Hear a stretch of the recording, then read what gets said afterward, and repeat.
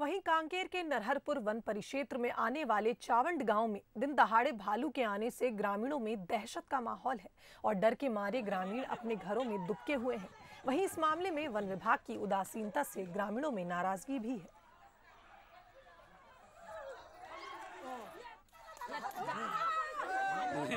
है